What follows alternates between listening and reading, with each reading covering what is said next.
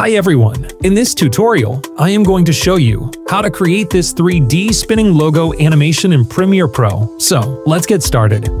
Alright, as you can see on the timeline, I have already got a gradient background. Also, I have imported a logo inside the project panel. Now we can drag this logo from the project panel over to the timeline and place it on top of the background layer. Next, we have to resize the logo from the Effect Controls panel.